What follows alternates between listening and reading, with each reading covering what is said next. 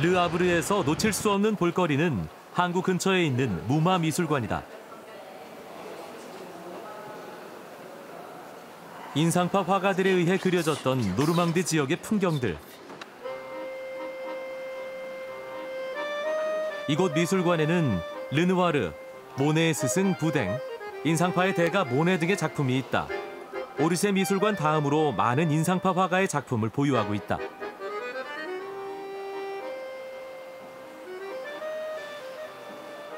C'est- On retrouve vraiment toutes les, toutes les couleurs, toute, toute la, la beauté des, des paysages.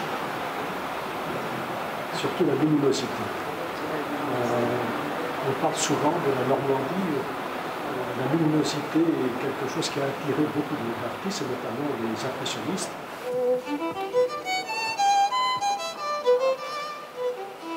빛으로 색을 찾아내는 인상파 화가들.